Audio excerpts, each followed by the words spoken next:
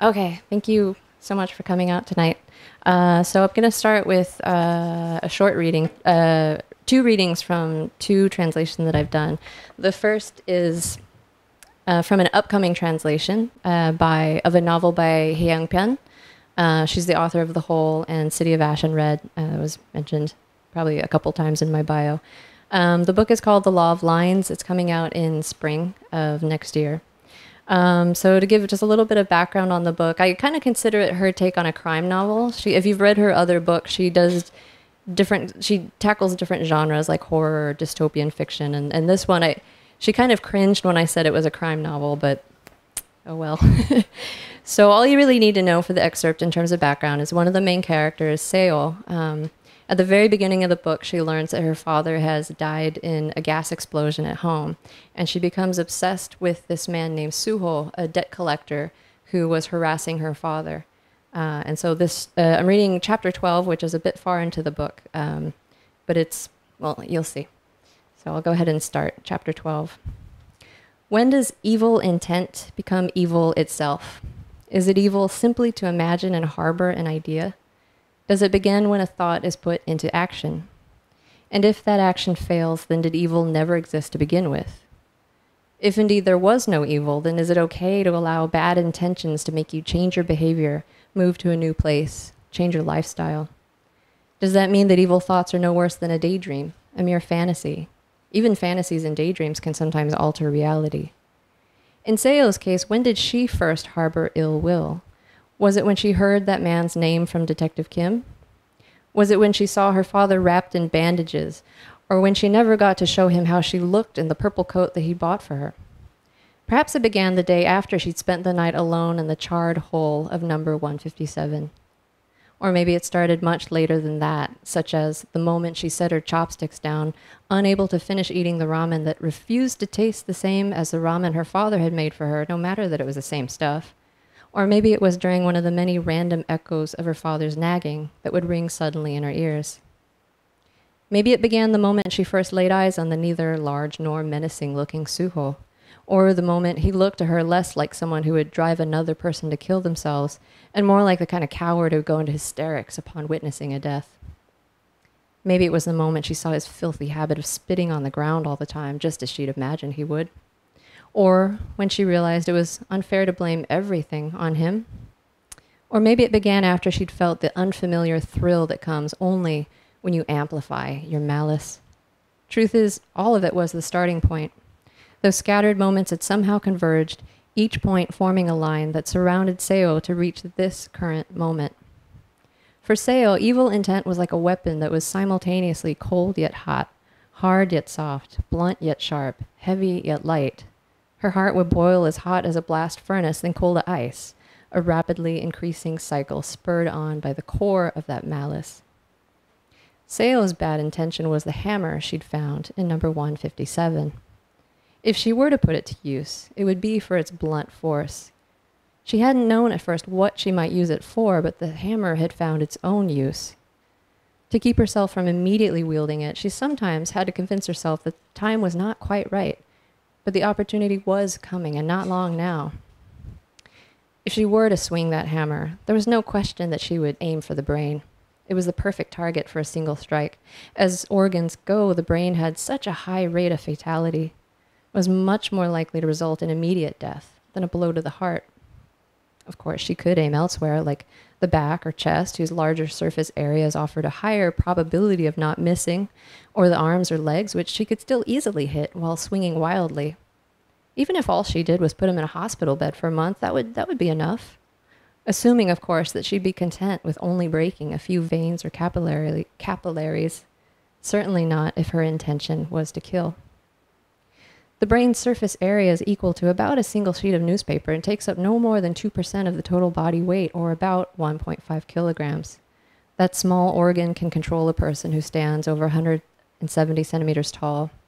It tells them to eat, to take the bus, to hold a grudge, to hate, and to make decisions both monumental and trivial that change their lives. It cheats and lies and placates and clings. It threatens and blackmails and violates and commands. It fills a man's mind with thoughts of death and compels him to take his own life. Carbon monoxide, or even just too much cigarette smoke, attacks the brain first, damaging the tissue by depriving it of oxygen. The brain is particularly vulnerable to heat. As Seo struggled to imagine the agony of a brain, a body, a home, a world being wrapped in flames, she tightened her grip on the hammer. Her task was clear to bring the hammer down hard on something. Shh! The air made a vicious sound as the hum- hammer punched through it. That sound alone had enough force to rattle a brain. A few more practice swings, and Seo knew that raising her arm overhead and bringing it down fast and hard generated the most force. But to aim for his brain, she would have to be taller than Suho. She wasn't, which meant that a single blow would not be fatal. Suho would fight back hard against this unexplained attack. She would have to swing the hammer and run like hell, or else find herself caught. After watching Suho come out of the debtor's house and spit on the ground again, Seo turned to head for the subway station. Soon she heard him behind her. Then he was overtaking her, his pace much faster than hers. She lost him in the crowd of commuters heading home. She'd grown careless, having been to the same location several times before. But she had her guesses as to where he'd go next. The row of restaurants along the main road. He was a regular there. She checked one after the other, no sign of him. Following him was one thing, but guessing when he was hungry or what he wanted to eat was another entirely. She headed back towards the station and spotted him. He was sitting in a noodle shop, staring blankly at the television mounted to the wall, waiting for his food. It was the first time he'd gone to that particular restaurant. Finding him this time, it had nothing to do with the statistics or probabilities that she'd calculated from her painstaking observations. It was just dumb luck. Realizing that made her want to end it now. Why drag it out any longer when she could just bash him over the head with the hammer she kept in her bag as he was exiting the restaurant? It would happen so fast he'd be unable to defend himself. It wasn't unusual to be attacked by a complete stranger in a crowded place. But she couldn't. This task, it was akin to an inevitability or a duty. She had to curb her impulses until the time was right. A mere impulse could not possibly contain all of the fury and hatred that she felt. She would find a better method than the hammer, and she would gladly keep company with malice until she did. Malice gave Seo something to do. It swept away her grief and lifted her out of bed in the morning. It gave her energy and got her moving. It fed her and kept her going from place to place instead of lying in bed all day. It enabled her to live simply and without complaints in the cramped goshiwon room, barely big enough to hold a twin bed and a small desk. It helped her endure the hot nights in that windowless room where she would lay still so as not to make a sound. It got her through the hours spent never talking to another soul, and it kept her from returning to the ashes of number 157. Seo left Suho at the restaurant and walked slowly back to the station. There was only one entrance. If she hid among the crowd, she could wait for him unseen and ride back on the subway with him. She was not alone. No matter the time or place, Suho was with her. Sometimes she thought about attacking Suho so much that she wondered if it hadn't already happened. She had trouble distinguishing between it and things that had actually taken place. It was the future, and yet it felt like the past. The way she saw it in her mind was so concrete and clear and detailed that she questioned whether she was truly picturing something that hadn't happened or was, in fact, recalling something that had.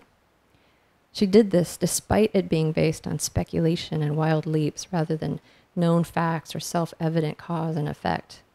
The very lack of logic or validation had dug in deep, Seo was way past being able to tell the difference.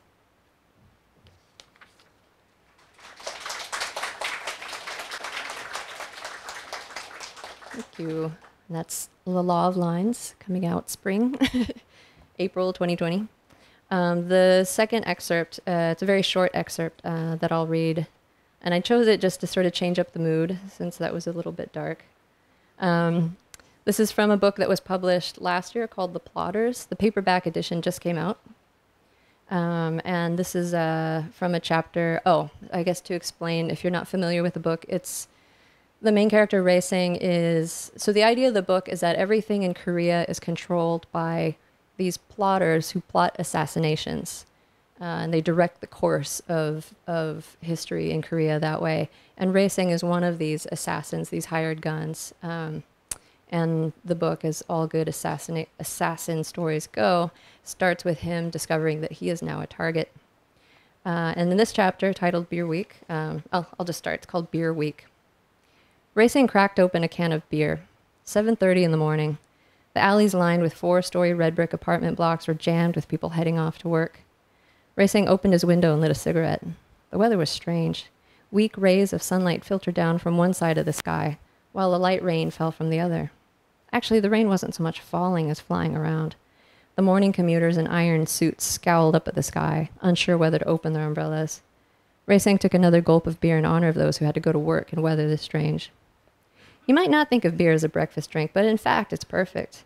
If knocking back a can of beer after a hard day's work makes you feel refreshed, rewarded, and relaxed, then a can of beer in the morning is about feeling melancholic, fuzzy headed, improper, and refusing to act like a responsible adult just because the sun's come up. Reseng loved the feeling of irresponsibility that came with drinking beer for breakfast.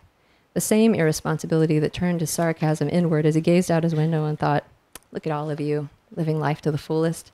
As for my life, to hell with it. Reseng took another swig. Guzzling beer while watching people go to work filled his head with surreal images. He pictured himself lying dead in a coffin and debating what to eat for dinner. Dead in a coffin, but his stomach growling as loudly as ever. How could this be? How on earth could a corpse be hungry? Dead Reseng was starving, but no one brought him any food. The funeral guests were all talking about him. He really was a piece of shit, wasn't he? Yep, complete asshole. It didn't stop. I know it's not right to say this in front of the deceased, but honestly, he was such a prick. To hear a kid his age use banmal to people so much older than him, and he never even thanked me for anything I did for him. It was Bear's voice. Reseng wished he could punch Bear in the back of the head for talking shit about him, but he couldn't. He was a corpse. Reseng finished his cigarette, lit up another, and swallowed an aspirin with a mouthful of beer. Aspirin, cigarette, beer. The inside of his head was heavy and hazy as if an enormous bank of fog had rolled in. At least once a year, anxiety would swoop down on him for no reason and his mood would crash. Whenever that happened, Reseng started his mornings with a can of beer. He stayed indoors, turned on some music, curled up on the windowsill like a snail, and drank beer all day. Reseng drained the can and crumpled it, then tossed it onto his desk, next to the other two he'd finished. Sitting beside the crumpled cans was the bomb he'd found inside his toilet. Reseng picked it up. It was smaller than a box of matches, so dainty that it had filled him with relief of the what harm could this little thing do variety.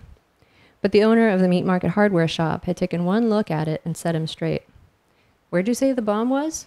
In my toilet. This would have blown your ass off. That tiny thing? The pressure is higher inside a toilet bowl. It's like squeezing a firecracker in your hand when it goes off. Basically, when you sit down to take a shit, your ass forms a seal over the hole, creating the perfect conditions for this bomb to do maximum damage. Are you saying it could have killed me? Ever seen anyone survive without an ass? So it wasn't just a threat or a warning.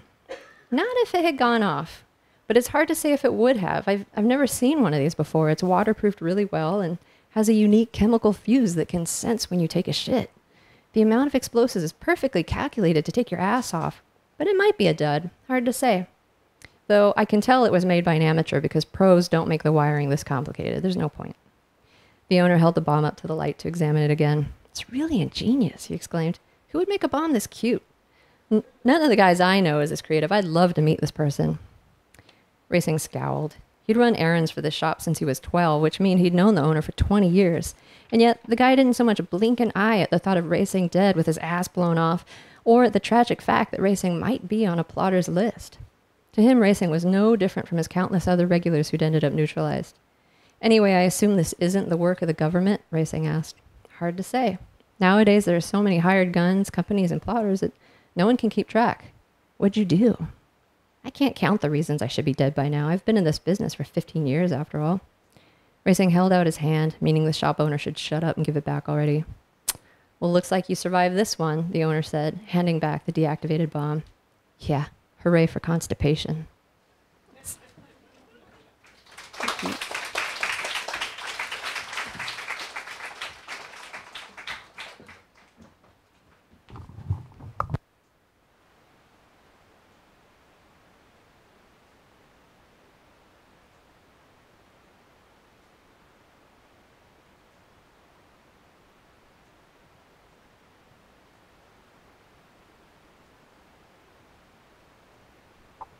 Working. Okay, great. Um, so Right now the time is 7:30. Okay, I've been instructed to go for about 25 minutes. I don't want to get in trouble here. Okay, um, so I thought I would actually just start by telling a short story, quick story um, about how I met Sora uh, over 10 years ago, and then try to kind of tie it up um, with some of the themes that um, I would like to introduce. Um, obviously, we don't have to pursue them if Sora doesn't want to pursue them, but just keep it out there. And also, actually, it relates back to um, this workshop, so I thought it would be useful. So over 10 years ago, I had just finished uh, my MFA program, um, MFA program um, in creative writing. And I was thinking, well, now what? What do I do now? Um, and one of the things I actually had lined up was uh, a translation fellowship um, in Seoul. So I flew to Seoul and was going to be there for about a year. Um, it was the first time going back as an adult for me, so it was a big experience. And Brother Anthony of Taizé at the time, who had graciously answered my email, which was like, dear brother Anthony, can you help me become a translator? He's like, sure. Why don't you come um, meet up with me? And then he actually introduced me to Sora. And Sora had been in Korea at the time already for, for a few years, uh, 2007, for a few years? Five years already. Okay, so already five years. Wow. Okay, that's why you were so good already. So that's how I met her. And, and um, that was 2007. And I spent a year kind of translating and meeting up with people like Sora and other translators and, and learning more about translation and Korean literature. And then I came back to um, New York and then I was like, now what? and um, I was feeling kind of meandering. And then I figured I had some free time because I was still on the fellowship, getting some money from the fellowship. And I thought I should just volunteer some time at, at, at AAWW. Um, and actually, this um, it wasn't this location; it was a different location. And Ken Chen, who was the director at the time, um, said, "Sure, why don't you come come by?"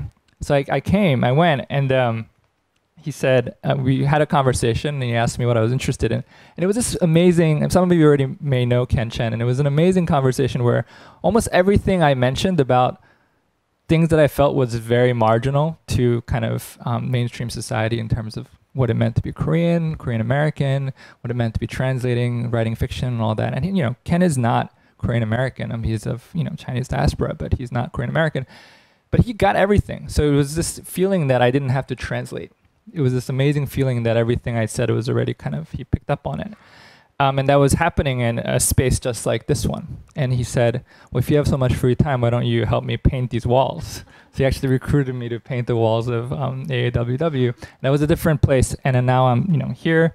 And it's amazing to see all these people um, come together around uh, a theme like translation, um, led by someone who's been so productive and, and, and amazing um, for for the field of translation. Um, and I, I, I, guess I guess the thing that I want to raise about translation here is often translators are talked about as figures that are invisible, um, that are that their primary role is to to bridge, to take one kind of um, unit of culture and link it to another unit of culture and and there's some legitimacy to that that description, and I think it does do some work.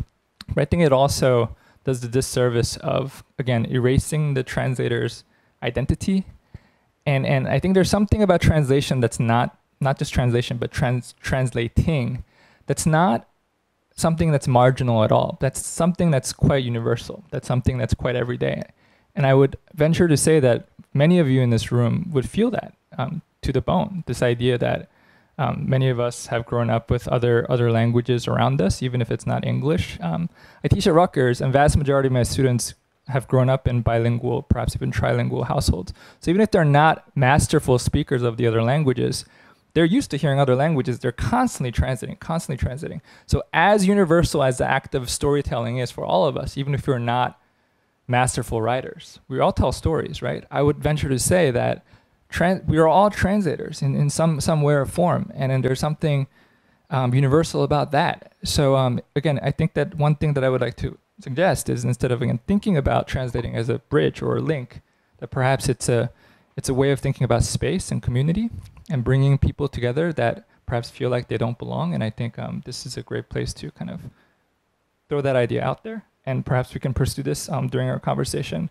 in some some way or form, or even during the Q and A. Um, once we are done talking. Um, but I thought also uh, this would be a good way of introducing the book that um, Sora participated in, and you, you didn't translate for this, right?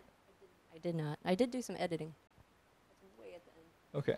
I think your mic is. Is it? Oh, my- Is this? Oh, sorry. I'm just holding it too far. Uh, it's not working.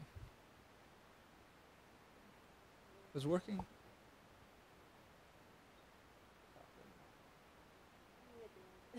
Way at the end. Ah, there you go. Okay. All right. So, could you just talk about the book a little bit? Uh, yeah. So I, I guess it was last year, a year or two ago. Uh, this anthology came out uh, just last year. Mixed Koreans, mixed Korean Our Stories. Um, I had seen the. There was a flyer that went out like a year before the book came about, uh, asking for mixed Korean, I guess mixed Korean Americans, but mixed Koreans of it, whatever uh, nationality, to submit personal essays talking about whatever aspect of being mixed uh, they wanted to talk about. And I had it like on my computer desktop, planning to write something, and of course I didn't. and then like a year later, um, on Facebook, another announcement came up about the book. They were looking for help with editing. They needed somebody who could read Korean, and uh, because some of the many of the contributors had included Romanized Korean uh, in their essays, and they wanted somebody to just sort of fact check and make sure that the spelling was okay, that the wording was okay, not to sort of correct their Korean, which wasn't always um accurate. Big scare quotes around that word. Um, and so I was like, perfect. I wanted to do something around this book, and so I jumped at that chance. Um, and while editing it, they gave me a second chance to also write an essay for it. Um, and uh, so uh, I guess I sh- should probably talk about the essay that I wrote for it. sure, sure. Uh, it's a- very personal essay. Um, my mother had passed away quite recently, and I was really in that just the throes of processing her death and and uh, trying to find the words for it. Um, and so I just sat down and just let it all come out on the page and cleaned it up as best as I could and sent it off. And and yeah, that's kind of the story of that. So the essays, the piece that I have in there, it, it the first part of it talks about uh, my relationship to Korean and the idea basically that I what I open with is the fact that for me, uh, as long as I can remember, I wanted to be bilingual. I wanted to speak Korean, um, uh, but it wasn't. So my mother's Korean, my father is white. We grew up uh, on military bases and then moved to California, and it just was not. We weren't immersed in a Korean community. There wasn't enough language support outside of the home to make bilingualism possible. So she did what she could. She tried, um, but it just never quite happened. And then later in life, I, I um, it, that desire never went away. And so in college, the first chance I had to take Korean classes, I took them um, and went to considerable lengths to acquire the language skills that I have. And yet, despite all that, my mother and I never spoke to each other in Korean. I mean, I shouldn't say never. We did occasionally, but it was always these very faltering, difficult conversations that mostly mostly just ended up being about food and not even like complex just like 먹었니? 맛있어? 네. yeah, and and then so that's the first part of the essay, and then the second second half uh, is, uh, uh, yeah, goes into her actual passing, which I'll not go into detail about, or I'll need a tissue. Thank you for sharing. Um, maybe this would be a good way of segueing into thinking a little bit about how you began as a translator. Um, when you started, when you started feeling like you actually were beginning to hit your stride. Um, what were some initial challenges that you were facing um, as a translator? Um, and I know from your um, other interviews that you've done that um, initially um, your ambition was to write in some capacity, and I know that you've published poetry. Um, so it would be interesting to hear, you know, how that transition occurred for you.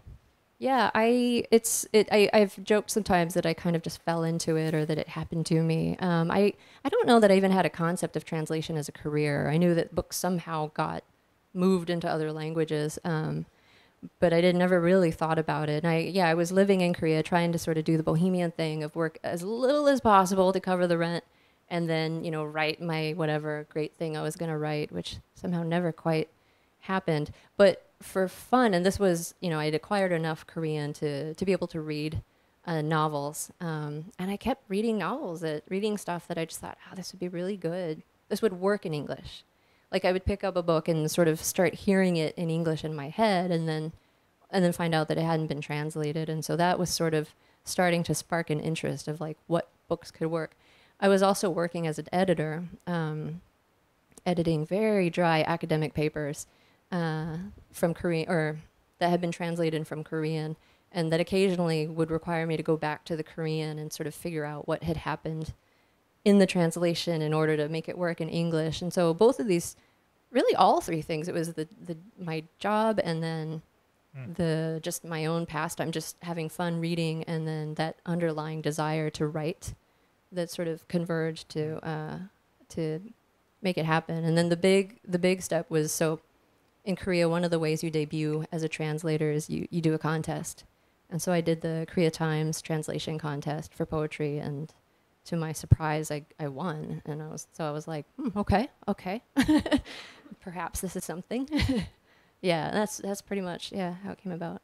Okay, thank you. Um, so uh, one of the things that I was curious about also was that because you you actually have published your own poetry, um, is there kind of a feedback loop process um, in terms of your how you work as a translator and how what you gain from that experience actually feeds back into your creative process?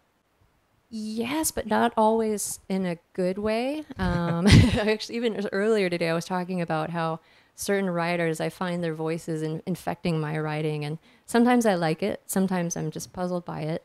Um, Pyun Young is one writer who I, I find mm. she sneaks in now uh, when I try to write. Um, it, but to be honest, it was kind of difficult. Like I went into it thinking that it translating would help me be a better writer. That it would be like, and I've talked about this in other interviews. That it'd be like reverse engineering, right? Like the idea is, if you want to know how to make a radio, you take an existing radio and you take it apart, figure out how the pieces go together, and then you put it back together, or you make your own radio from other parts. And I kind of had this idea that translation would be like that. That I would translate a certain number of stories and come out of it writing my own stories. And uh, it really didn't work. It backfired spectacularly on me, where I became so self conscious about every word I put on the page that I kind of lost that. Oh, this is so bleak. I'm sorry. I kind of like momentarily lost that flow, that mm. zone that you get into when you write, where you're not thinking so much about what you put on the page. So that was kind of a, a weird experience for me as certainly as a beginning translator was uh, just that hyper awareness of of language on the page. It serves you well as a translator, not uh, so much as a writer, right? Because you kind of need that spark at some point. You do, you do talk about how you get into the zone sometimes when you're translating, and you can just go for like an eight-hour session. And I yeah. wonder, you know, like writers talk about the zone too. Um, and John Gardner famously talks about the vivid and continuous dream that yes. fiction writers have to try to um, produce basically for the reader. And and I mean, again, my limited experience with translation, I've had these instances where I, I kind of get into the zone where I can translate pages and pages and pages, and not all of it is great, but yeah. it ain't bad either. Like yeah. you can go back and fix it, and it's it's fine. So I mean, that's kind of like getting into the zone. How do you how do you describe that experience? Is it something akin to writing, um, writing on your own? I I would say so, and I think I, like now that you bring that up, I, I I think it is similar to when I wrote poetry. So for me, one of my big challenges as a writer, whether it was poetry or or fiction, it was always structure. Like I loved just playing with words uh, and images and just letting everything be very free form, sort of mess on the page. Um, and when I would take writing classes, the comments I always got were like, structure. Like this needs a form. This needs mm. something. And with translation, it's kind of glorious because the form is there for you. All you have to do mm. is follow it. And you can have as much fun with the words on the page, but it's it's there. And so it's it's probably really dangerous for someone like me because it really makes it easy not to write. I've heard other translators describe it as kind of like performing music. Would you say that's similar? I have like zero knowledge or experience of music, but yes. okay, thank you. Yeah. Um, let's get into the more kind of gritty, nitty gritty um, aspects of translations. I think um, because again, translators are so invisible. Some of you may know that you know U.S. publishers actually prefer not to include translate translator names on their on their um, cover book covers because they want to kind of convey the sense of seamless transition. Sorry, seamless transmission from the authorial genius to the reader's mind. Um, and you actually have to get to a certain level of accomplishment, as Sora obviously has, to have have your name start to appear in these translations. Um, so um, there are all sorts of factors conspiring to um, continue and maintain the invisibility of the translator. So I think one way of pushing back against that is to talk about the process. You know, um, I think many people don't necessarily know about the editorial process, the kind of collaboration that happens um, quite naturally between author and translator. If you could speak to that a bit. Yeah, and actually to go back to the idea of the, the thing about the name on the cover, some of it is accomplishment that you get to a certain level where you can demand it. I've actually never demanded it. I've been lucky that I've gotten to work with publishers who have either worked with translators before or who have their own uh, uh, progressive or activist idea about translation and making it visible. And not all of the books that I've done had my name on the cover. I admittedly there are times where I feel a little sorry to the author because I have this long hyphenated name. and it's like no matter how they change the font, it's always sort of overpowering, but I guess I shouldn't really worry about that. But the process, um, but going back to that, uh, what I would say about the process that I think is not very well understood is how collaborative it is. I think there's this perception that as translators, so there's the author's authority, but then there's also a strange sense of authority that's put on us as translators where everything that happens in the translation from the title to like did we include the author's note that was in the original to every single word choice on the page and like why did you use this idiom why did you use that word it all comes back to us is like why did you do that but the thing is, and not to sound like I'm, you know, we're dodging responsibility. Sometimes it's not us. Sometimes it's an editor. Sometimes it's it's an agent. Agents can step in and and and weigh in on things like titles, how they want things to read. Sometimes the author themselves will uh, will have a say. Um, and so while the bulk of the work is certainly us, there's really so much behind the scenes that is not mm. visible. Um, and so there's it's it's a bit of a, a I don't know what the I can't think of the term now, but like the the visibility of the translator is fantastic, but it sometimes is sort of like we're being pushed mm. like here here take the arrows. yeah. Okay, well, can you think of an example of a positive oh, outcome yeah. where the collaboration yielded something Honestly, cool? I love the editors that I've worked with. It I lean on them as much as I can. Um, it's so helpful. Uh, so many translators talk about feeling alone, especially when you're starting out, because mm. you're just, yeah. Um, but once you're into that stage of publishing, and it's not every publishing house, uh, editors have different levels of involvement. Um, but when I've worked with publishing houses where they are really supportive and giving me lots of feedback, that's where I find that I make these leaps where I, I grow as a translator because you really need that feedback as you're working. So, like one example is uh, the plotters. Um, I gripe about it, but I also really enjoyed the the experience. So, The Plotters by Kim Un-su. It was initially published in Australia, uh, and the editor there, Penny Hueston, she was fantastic. She's a translator herself, uh, and she had read the book in French, so she had just so much knowledge that she was bringing to it, and she worked really closely with me on. It felt like every sentence and. Uh, really tightening up the prose uh, beyond uh, in ways that I, you know, beyond what I had imagined for the book. Um, and so then it got published, and then at some point during that process, it was sold to the US and the UK. Uh, and the US editor took the book and did his own edit, which included lots of feedback for the writer, including structural edits like who's this back character? Can we develop him more? Hmm. The ending seems a little clipped. Could you make it a little longer? What's this historical reference? Can we flesh this out? And it almost became another translation of the book to the extent that there are actually two versions of the same book. So there's the Australian, which is uh, it's basically how the the book was published in Korea, and then there's the U.S. edition, which has uh, a longer ending and more detail throughout. And it was um, really fascinating to have again that feedback and and to have him weighing in on what he thought readers could handle, what they would need more of, um, yeah. Thank I'll you. trail off there.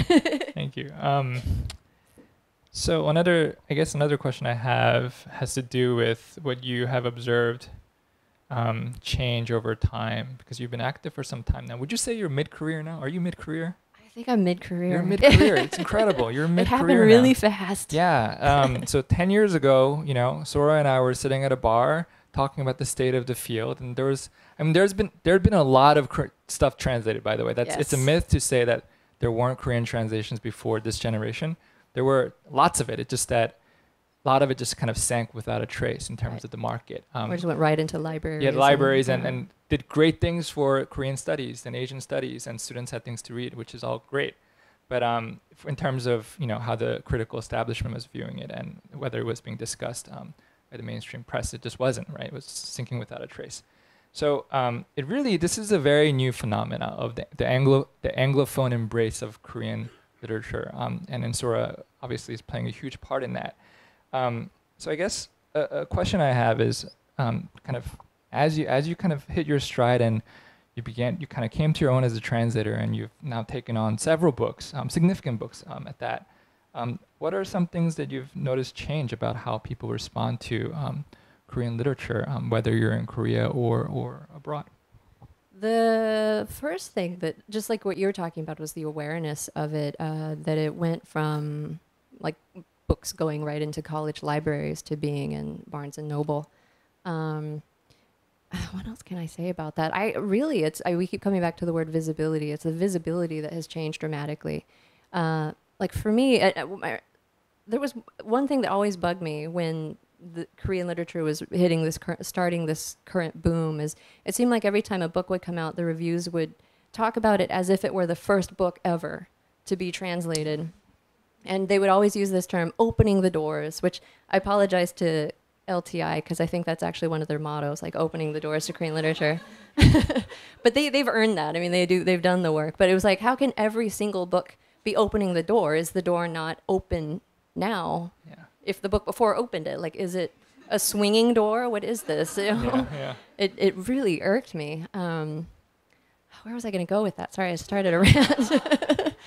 uh, but along with that, yeah, I'm really going to get lost. So I'll. No, uh, it's okay. Okay. No, I mean, I could just chime in. I mean, Yeah, I, I would say that similar similar occurrence happens with Asian American literature. Yes. That there's a kind yeah. of short term memory where people just forget about the last example of Asian American literature where they talked about it was a gate opening event, and then yeah. and they forget about it, and then the new guy comes along.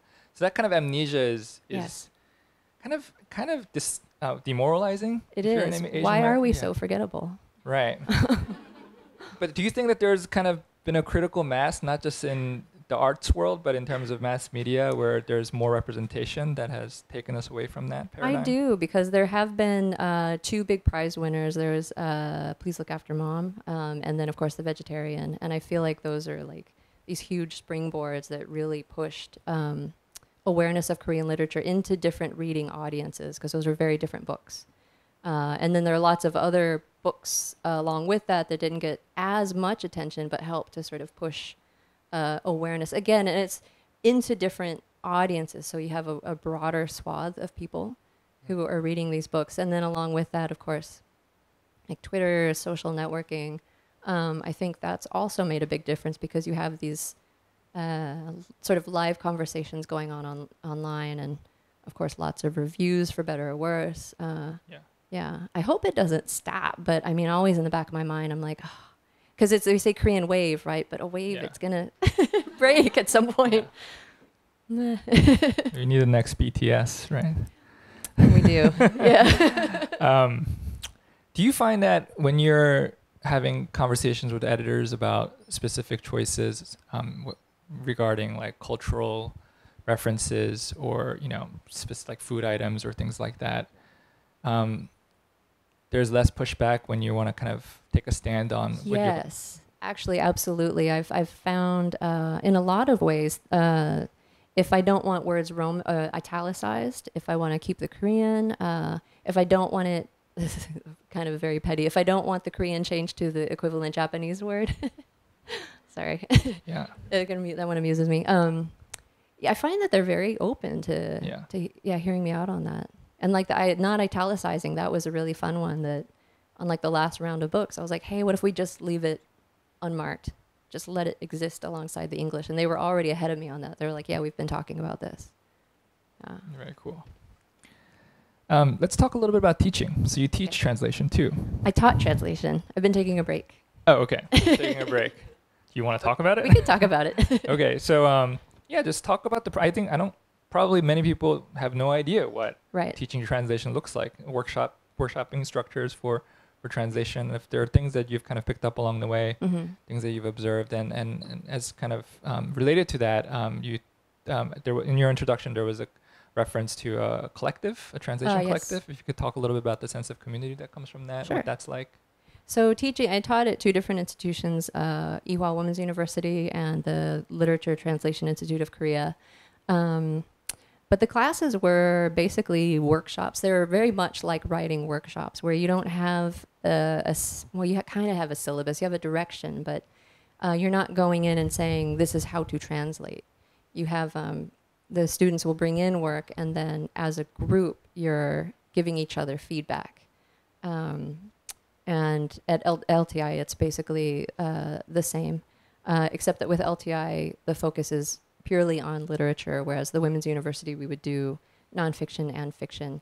Um, and it it it's a really it's an interesting experience to teach there because and I teach in Korea or I taught in Korea, and so not all of my students were uh, native quote unquote native English speakers. Most of them were uh, translating into their second languages. So it uh, raised really interesting challenges as far as uh, how and where I could push them with their translations and to and how to get them to think differently about translation like really to get away from the idea that there is one correct translation or that their job as a student was to make me happy with their translation. Um, what i wanted from them was to just think about why were they translating it that way? Why did the writer write the book that way uh, why you know how is this different from other stories other writers uh, and so that was what i really enjoyed about it was um, having those conversations and trying to push them to ask those questions Are there any exercises that you feel have a palpable um, effect on improving their translations? Ooh, that's a hard one because it kind of takes years to see Mm.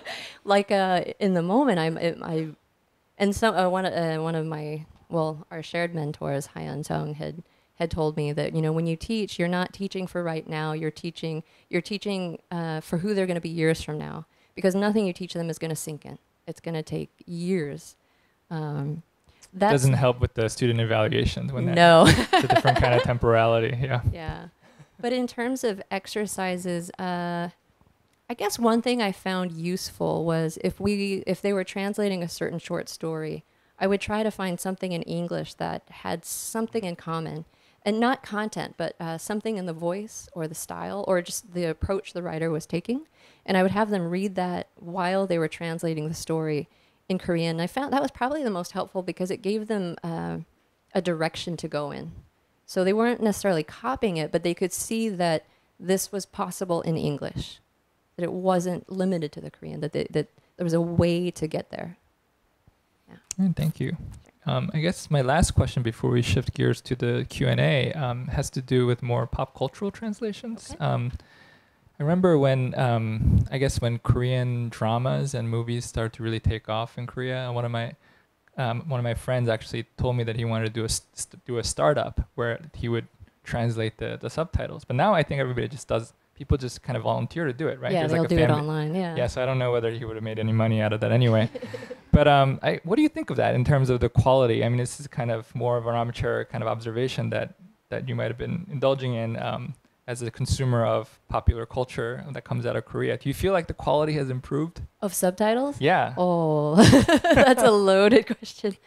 I, I, to be honest, I sometimes have to actively not read subtitles, even though you kind you can't get away from it. Um, yes and no. I, I mean, there have been issues, right, with with certain certain movies. But Yeah. then what I th- but what has caught my attention lately is uh, like translation of song lyrics, which I feel like is really brave. Uh, Mm. Like people on Twitter who, you know, are uploading their lyrics. There's something really sort of terribly vulnerable about putting your translation out there for people to read. And so I Mm. think it's I think it's awesome that that that um yeah that that they're doing that and putting it out there for for comment. Uh, I don't know Thank you so yeah. much. Uh, so should we just open it up for Q and A from the audience?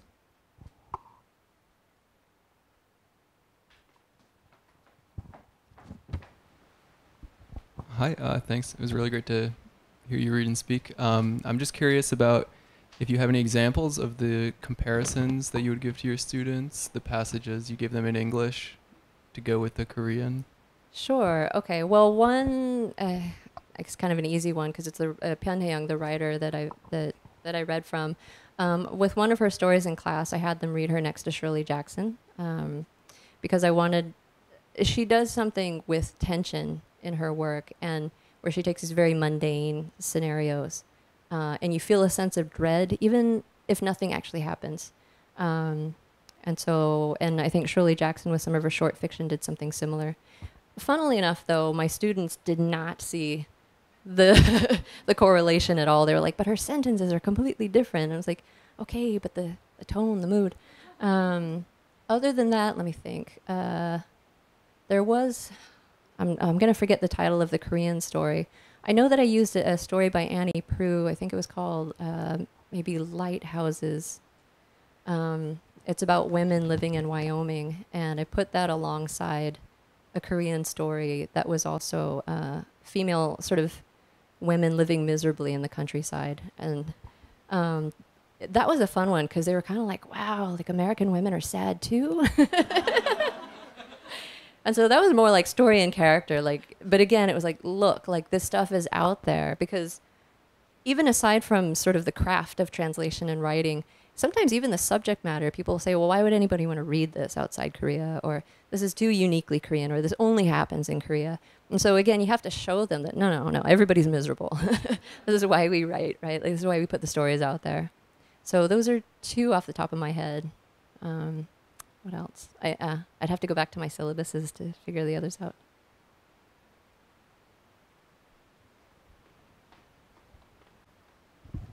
Thank you so much for your talk. Um, two questions. I think they're kind of related. One is, as a translator with this years of experience, do you have any saying in bringing a project to the editors and say, "Hey, here's a book that I would really love to do," and is there like one project that you would love to just do? Yeah, uh, I you know I've been kind of lazy. I lean a lot on the agents to do that work of of shopping the work around. Um, but one uh, area that I've been interested in is um, like YA. Uh, there's this one book. So I like, as you can probably tell from the things I read, I like the sort of dark, scary, but funny uh, stories. And there's one. Uh, it's like a children's horror novel about a haunted library, which it should be translated. so that would be that would be one that I think would either me or someone else if, if I think it would be a fun book to to see in English.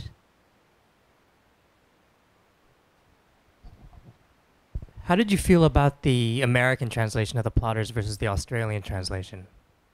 Uh, honestly, I really loved both equally. Uh, the American translation, well, the Australian one was fun because I'm obviously not Australian, and so there was a lot of Australian vocabulary that I had to just dress the editors on, and yeah, like words. I was like, how is that a word? But um, the U.S. one, honestly, it was okay. So to be honest, when I got the edits, when I got the email from the editor, I thought, "Are you kidding me?" I was also, uh, how pregnant was I? I was very pregnant uh, when these things came my way, and I was like, I have to retranslate this. Like I'm like I'm getting ready to do something really horrible. Um, but when and the author too. So the the funny thing about the author is that while uh, all of these edits and conversations were taking place, he was on a deep sea fishing voyage, doing research for his next book. So he was not available for consultation at all. I had to wait for him for his boat to land in Fiji, uh, and for him to get Wi-Fi on his phone, so that we could like talk about you know edits. And he came off like all ready to start his new book. Um, and he got this horrible email that was like, by the way, can you rewrite this book that you wrote 10 years ago? And so I think, I'm pretty sure his reaction was like far worse than mine. Um, but we both kind of landed in the same place. Like we looked at the edit or the the feedback from the editor and thought, this is actually brilliant. This will be. Uh, th- these are great suggestions. Um, and he admitted that he had felt a little like akawa, like a little like he had rushed the ending of the original a little bit, and so he, after the initial dismay of like, oh crap, I can't start my new book yet. Um, I think he appreciated uh, that opportunity to jump back into it, and I'm actually I, I really like the new ending. I like both, but the the new one is um, it just gives you a little more to kind of chew on. So, so earlier on, both of you mentioned being in the zone Yes. and spending eight hours translating, obsessing over one word, half a dozen way to translate um, a certain sentence or phrase. So I teach um, literary criticism or uh, literature and translation at the Pratt Institute, and I also teach writing at Columbia. And a lot of students, you know, we, we talk about this issue of of the, the, the, the translation as we're reading the piece. One semester, I, as I was teaching vegetarian, depending on the copy, um, the print, the first print, second print. So we're all, all on page 14, and we had very minor, you know, you know, changes in our in our editions, and so and you know, and I find my, you know, self also spending hours translating one page. So at at a certain point, you have to stop yourself, and I'm gonna go with this idiom and this uh, word. How did how did you you know as you know you mentioned at the beginning you overcame this as a beginning translator. How did you get over it and and felt that this is the way I'm gonna go? I didn't overcome it. I torment my editors by sending them changes at the last, really last. Like I'll email them and say, "Has the book gone to print? No. Can you make this change? Page fifty-two, line eighteen, please. Just can you just take that comma out because it's bugging me. I, I'm I'm really working on it, but I, I it's really. I try to practice mindful letting go, but it's it's it's hard because you second guess, and especially with translation, you really, and this I guess uh, Matt links up with teaching because I try to tell my students this. You need distance. Like when you do that first draft, you're you're too close to the Korean. You can't see what's happening in the English yet. You need to get away from it uh, and have time to just read the English as a book in English.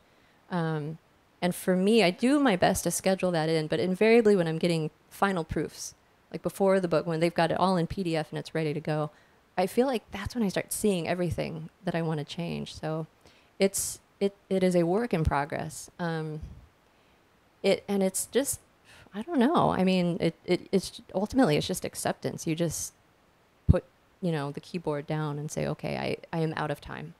So I will say it's just deadlines. It, it I have deadlines now, and that's what enables me to just walk away from it. Yeah. Last question. Thank you for this talk. Um, I was wondering about the the triple translation that you did with um. Well, I guess I'm calling it triple, but when you're talking to the translator in Australia and she read it in French, um, I'm taking a French translation course and I'm also interested in like Korean translation, so it's like a triple thing. Um, I was wondering how it helped you, like with her insights, because French and Korean linguistically are pretty. Uh, they come from different historical backgrounds, so it's just yeah.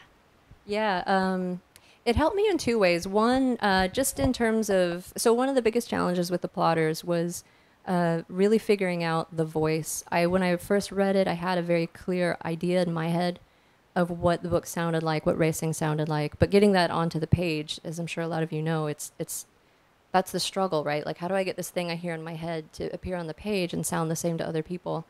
Um, and there were parts where, especially with his humor, where she would kind of come in, the editor would come in and say, okay, well, the French translator sort of spun it this way, or it's a little bit drier, or it's a little bit more tongue in cheek, or more profane, or whatever in the French. And so then that would, it sort of gave me permission to go back and change what I had done, or gave me clarity to say, okay, this is how this can look.